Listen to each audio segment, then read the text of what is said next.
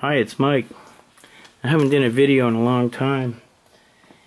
Uh, there's been a lot of interest in uh, the ferrosphere, uh, my invention. Uh, so I think I'm going to go on ahead and sell some of these. Uh,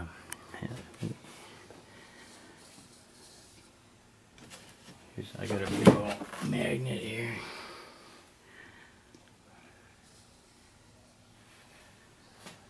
Give it a minute. There it goes. It's a really nice device. I'm going to go on ahead and auction this one off um, on eBay. Start the bidding at 99 cents for uh, maybe a one week auction. So I'll go on ahead and post this one. The plastic's a little bit scratched up, but it's not too bad a shape. The base is made out of a ABS pipe cap.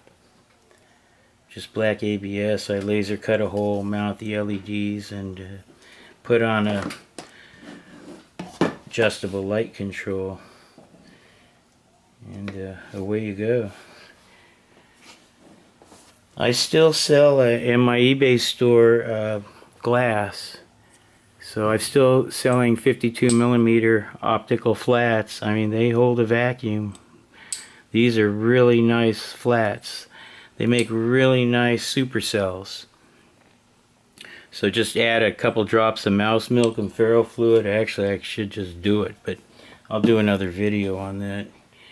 And stick them together and wipe the edges off and away you go. But there's a lot of interest in the ferrosphere, just tons of email on it.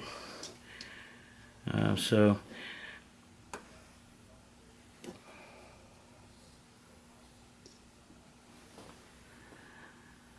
So it's going to be in the my eBay store. It's MAP MAP surplus, which is just all the junk I've collected over the years.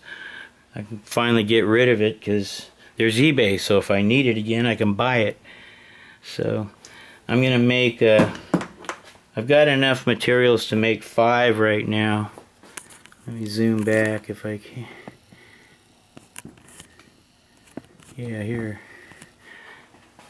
So I'm going to take these uh, 80 millimeter plastic spheres. They're indestructible.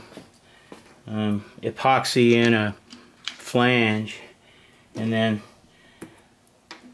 then the cork stopper because penetrating oil believe me it can leak out.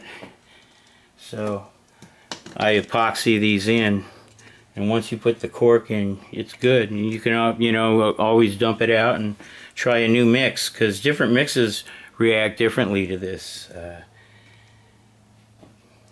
this just happens to be the mix in it. So that's about it. Uh, so look for this uh, showing up on uh, eBay. It's called the uh, Ferrosphere.